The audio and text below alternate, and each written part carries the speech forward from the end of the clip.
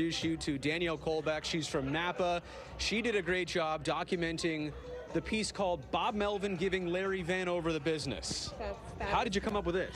Um, well, actually, this was inspired by uh, an event that occurred uh, last season, uh, September 24th. I want to say that's the date uh, when they were facing the Tampa Bay Rays, and um, Bob did not agree with a call that Larry had made, and he ended up getting tossed out of that game. And I think that's an element of baseball that. I really love and enjoy and grew up with, and um, I couldn't help but try to capture that passion that we see so adamantly within um, some of our management in baseball. He looks a little mad right there. In the moment, I remember him being very mad, Yeah, actually. He's known to get a little perturbed, I would think, um, but he has the method of navigating what is necessary and protecting his players. And from my understanding, it's even harder for a manager to get tossed these days with how uh, the whole entire game is changing. Um, but to see him stand up for his players all the time, I mean, that's just, it really boils down to integrity and passion. And he's really good at navigating that.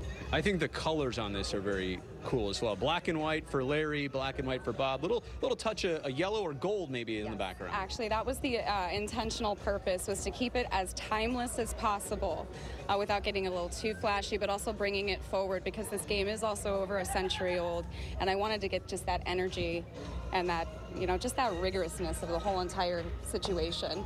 Um, but I felt that black and white is a very bold statement, and I do believe that that's pretty appropriate for how the jerseys are going to be looking this That's weekend right, as well. right. So it seems to all tie in together very appropriately. Well, if you're looking to come up here and buy this piece, too late. It's already been sold.